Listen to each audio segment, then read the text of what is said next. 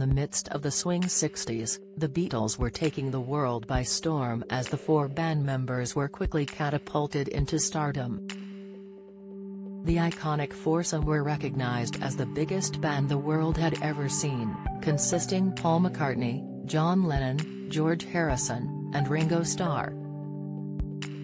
Millions of fans around the world were left heartbroken when the four friends from Liverpool split when Paul announced the end of the Beatles over 50 years ago, in April 1970.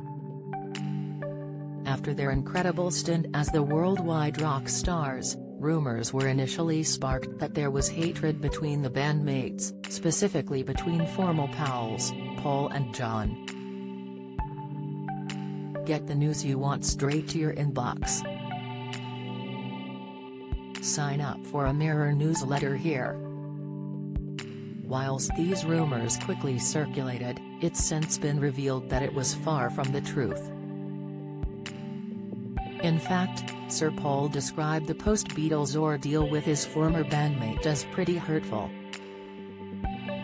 He addressed the accusation of hate between the Fab Four, that initially sparked when the band split followed from a decade of hit records, rocketed stardom, and world tours came. Despite speculation at the time, the rock star insisted that the band members never hated each other, despite what was made out in the press. In an interview with British GQ in 2020, Paul appeared to blame then-manager Allen Klein for the demise of the band, and the threat to their label Apple Records.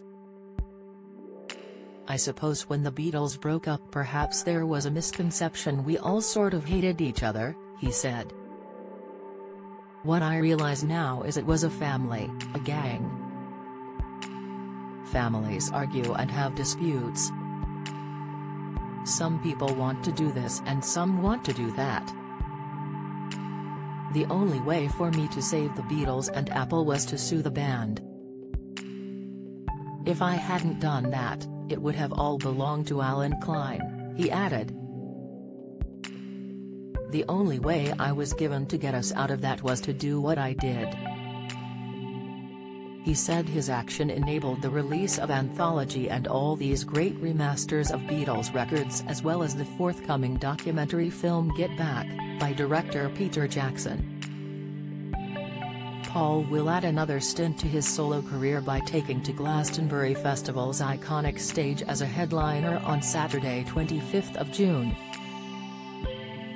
The festival is well underway of its long-awaited return, and will continue until Sunday.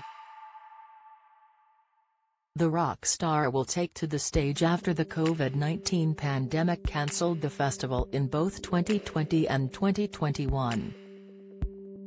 Paul is not the only headliner for the event, with other stars making an appearance, including Diana Ross, Kendrick Lamar, and Billie Eilish, who has made history as the show's youngest ever headliner.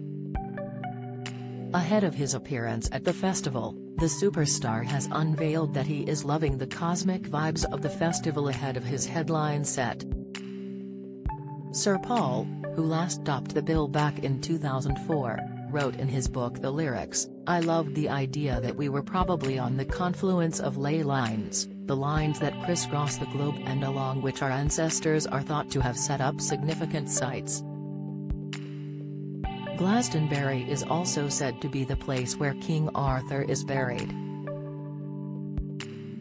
So, one way or another, it's a very special place and it has a very definite vibe, he added. There is simply no denying that it has a distinct aura. Ever since the 1960s I've been interested in constellations, cosmology and cosmic sounds. Do you have a story to sell? Get in touch with us at webcelebs at trinitymirror.com or call us direct 0207 29 33 33.